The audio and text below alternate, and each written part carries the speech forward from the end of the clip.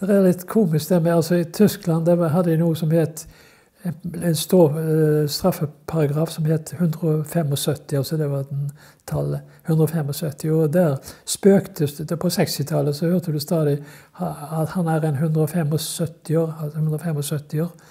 De brukte det, så Istedenfor å si homoseksuell, så sa de 175 år. For det var straff, straffbart i Tyskland.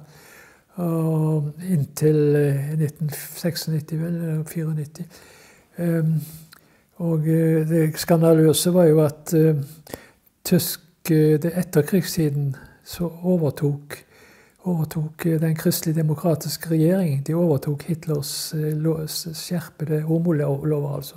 Det tok 25 år før de, nesten, nesten 25 år før de begynte å slutte å straffe. altså. Og det var jo helt grotesk. altså det ble jo, På 1980-tallet så var det noen modige journalister som som gikk inn på toaletter og knuste vinduene med speilene. Og så viste det seg at bak de så satt politifolk og fulgte med. altså. Så, så, så, det var strengere i Tyskland, altså. men jeg merket jo ingenting til det. altså. Jeg var ikke, var ikke aktiv. vet du.